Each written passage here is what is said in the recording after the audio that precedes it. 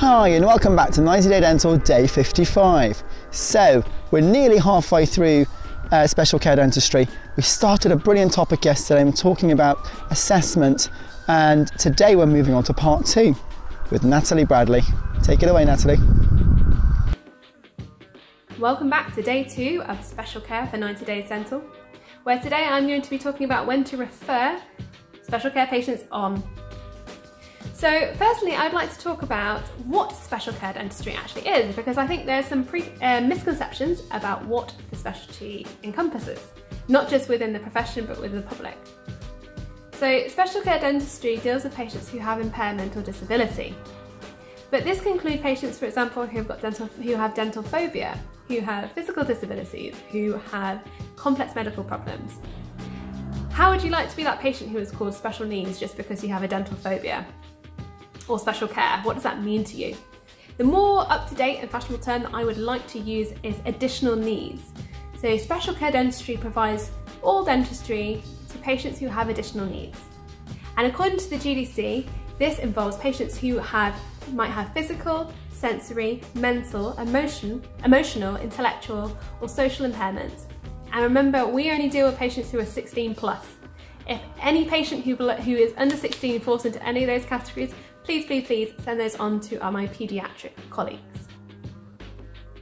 Where are special care patients seen? So you might see patients uh, that fall into this remit in general practice, but generally as well, um, community dental services um, throughout the country also provide service in the community for these patients, and also hospital dental service um, has a huge a remit for a lot of these patients simply because of some of the treatments we have to provide need a medical input in secondary care.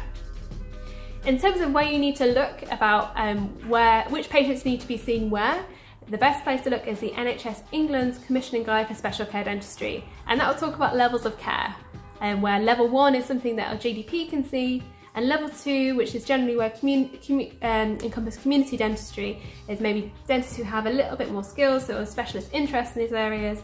And then level three is the hospital dental service generally, or specialist dental service.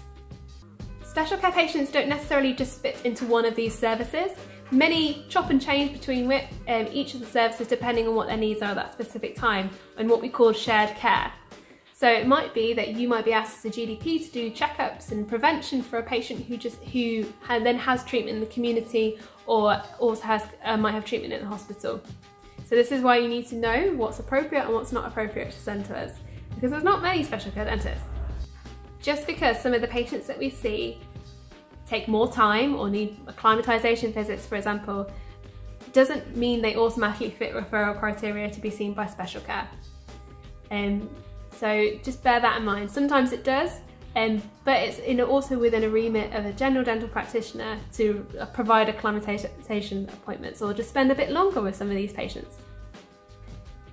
So let's go from through some of the patient groups that I see um, and when you need to consider referring these patients. Um, bearing in mind, um, although I talked about those, um, the criteria for what falls within special care dentistry, um, general, generally many of our patients don't just fit into one of these boxes of, yeah, they have a, a mental disability, no, they have a social disability. Most of them tick several boxes and overlap. Um, special care patients don't generally fit in boxes very well. Um, so that's just something to bear in mind. So firstly, let's talk about patients who might have a learning disability. Just because a patient has a learning disability doesn't mean that they necessarily need to be seen by a special care dentist. Learning disability is a huge spectrum. It could be quite mild, where a patient can, is fully cooperative, uh, understands what you're saying, can manage treatment with local anaesthetic, and that's absolutely fine for them to be seen in general practice. But when things get a bit more complex, when they have some medical comorbidities, so some patients who have Down syndrome might have cyanotic heart defects, which increase, increases their risk of infective endocarditis, so they need, might need to be seen in secondary care. Or patients with autism uh, might have epilepsy that's not very well controlled, and so you might want them to be seen in secondary care too. So that complicates the situation. They might have complex social problems and you might be worried about safeguarding. In that case, being seen by the community um, or um, a special care dentist might be more appropriate. And of course, things about cooperation is really important. If a patient has very poor cooperation and can't manage treatment with a local anaesthetic, then that's something we might be able to help with. Also, some patients who have learning disabilities like routine and familiarity. So actually being seen by the same dentist and same team and the same surgery in a dental practice that's close to them or close to their care home might be more appropriate than sending them all the way up to a specialised clinic where it's difficult for them to get to, they get distressed if they're on public transport um, and they see a different dentist every time in an unfamiliar environment. So that's something else to take into consideration. We also see lots of patients who have multiple comorbidities the thing to remember with multiple comorbidities is that if that medical condition doesn't affect the dental treatment that you're giving them, then there's not really an indication to send it off to a special care dentist. Generally, especially in hospital, we see ASA 3 patients and above. So that's people who've got severe systemic conditions. and um, that actually imp um, impact a patient's function and um, general day-to-day -day life. So that might be they have uncontrolled diabetes or they've recently had an MI or they've got really severe COPD and they're breathless on walking. We also might see patients who are on certain medications that really impact their dental treatment. So things to remember are bisphosphonates and anticoagulants and antiplatelet drugs. Um, some of these patients might be able to be managed in, second, in primary care, um, but sometimes they might need a bit of shared care where if they have a particularly difficult tooth taking out and you're worried about their coagulation and clotting, then referring it on is appropriate.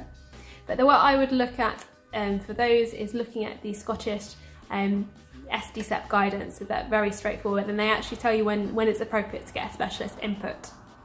The reason why you might refer these patients who've got complex medical problems to us is that we ha have um, greater capabilities for closer liaison with medical teams. Um, I work with an anaesthetist generally once a week and that's the best person to ask about medical problems.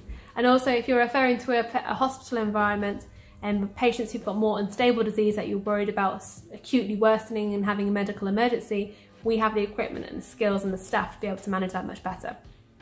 Another patient group that we see and you could refer to as patients who are scared of the dentist.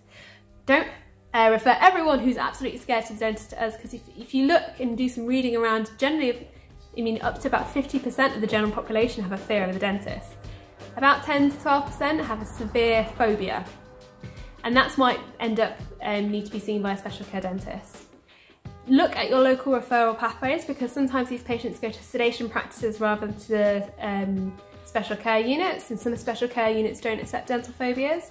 Um, but when a patient can't actually manage their treatment with you, so after you've spent um, a good time building rapport with them, helping them relax, giving them a bit longer time, even if then they're not even sitting in a dental chair, then maybe that's the time to consider referring. We can offer non-pharmacological ways of helping manage their dental anxiety, or of course we have the sedation route too. And what about patients who have physical disabilities? So there's some obvious ones, like if a patient actually can't even get to your dental practice and they need a domiciliary visit, that generally falls into special care dentistry remit and we physically go to their homes because they can't get to us. That might be because they have, um, you know, they, they have a lot of physical disabilities, they're bed bound, they've got agoraphobia perhaps, or maybe they're an inpatient um, at a hospital, for example. Patients who are wheelchair bound might have to end up being seen by us, but that really depends. Um, being wheelchair bound, again, there's a spectrum of that. It might be that they can get out of their wheelchair and transfer to your dental chair with no assistance, no problem. It might be that you have a ground floor surgery with a, doors that are wide enough to let the dental when the wheelchair through and you can have a look in their mouth um, without getting them out of their wheelchairs. But it might be, or, or, they might have those wheelchairs that, that tip back, so you can actually just get them tip back in their wheelchair and you can do your dental treatment that way. But it might be that um, the patient can't transfer or you've got a, you're on a second floor and no lift. In that case, getting them to see us is a good option because we have things like wheelchair tippers, um, hoists and things so we can actually see them and provide their dentistry. Also think about the weight limit of your dental chair. I hope you all know the weight limit of your dental chair. Generally you're looking around 23 stone. But if a patient is over the weight limit of your dental chair, you need to refer them onto a service that has a dental chair that can take that weight um, and generally that falls under special care remit as well. Some patients also have really hypersensitive gag reflexes that really impairs them being able to having any sort of dentistry whatsoever. I don't mean you just over patients who gag when you overload your alginate tray, patients who literally won't even let you put in a mirror in their mouth without gagging, or can't tolerate the denture that you've provided for them and it's not overextended and it's good and it's got good retention. That might mean that you need to refer them to us because we can do other things to help them manage their gag reflex as well.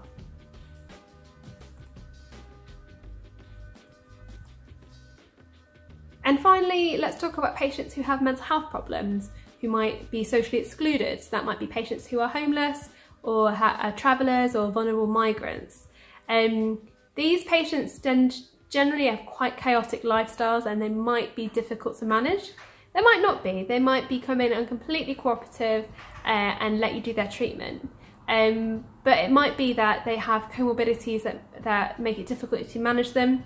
So um, a lot of homeless people also might be alcoholics and that might impair their liver function, what their clotting ability is like, oh you need to get blood tests, managing that in a special care environment might be easier.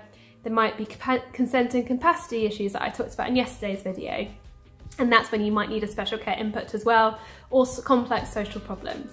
But actually many of these patients, because of their chaotic lifestyles, might really struggle getting to see um, get through that referral process. By you referring them on somewhere else, that's just an additional barrier to care that you're giving for them. Um, so you need to get to know the patient. Actually, accessing dentistry through general dental practice is generally the easiest way to access dentistry for these patients. So um, rather than referring them on, it'd be great if you could see them if possible. And it just might mean you need to adapt things a little bit to co compensate for their chaotic lifestyles. So just lower your expectations in terms of what treatments and how long your treatment plans are, engaging with key workers, for example, to reduce their fail to attend rates or give text message reminders, or just being a bit more flexible about how you arrange their appointments and treatment planning. So these are all things to consider when you're thinking about referring a special care, special care patient onto a special care dentist. Um, we are here to help. Please do not worry about if you're not sure. Please get in touch with your local service. I think special care dentists are generally the nicest dentists, I'm a bit biased, um, dentists out there. So if you're worrying about anything and you get in touch, you will generally get a good response. But what's really important for special care patients is really just adapting to their needs, not thinking everyone will fit into all these boxes that, you know, that patient will be seen by the CDS and that patient will be seen by the hospital. Generally, they flit and change between services and shared care is so, so, so important. Communicating between with the patient and communicating with their carers and between services is, is really, really key because actually many of them will be able to be seen at some point in general practice for some point, some part of their treatment, whether it literally is just their three month recall and prevention checkups, or if that's some part of their treatment, making a denture, for example, and it really takes a load off special care dentists. Because as I say, there's not a huge amount of us and we can't see everybody who falls into all these categories. Um, I think everyone should be upskilled to be able to see these patients because generally the population of all these patient groups is increasing. People are living for longer, it means they're getting dementia, they're living longer with comorbidities, they're surviving cancer treatments, people with learning disabilities are, are surviving in, into later adulthood, people, more and more people are being diagnosed with mental health problems and um, yeah, homelessness and stuff is increasing. So it should, treating these patients just shouldn't just fall within the remit of special care dentists. Everyone should be able to do special care to a degree. It's an aspect of dentistry that I found super useful to get from Natalie, simply because it's so nice to know what the protocols and everything is out there and what's available out there to help us support us through our practices and through our other working careers in the dental profession. So thank you so much for that uh, incredible update and I cannot wait to look forward to part three tomorrow. Like us, follow us, follow Natalie on Instagram as well and look at all the companies that have been supporting us throughout all of this. I know all of you are very busy preparing at the moment um, for various different uh, getting back to work schemes and protocols, but please do follow and give us the support as well. See you all tomorrow.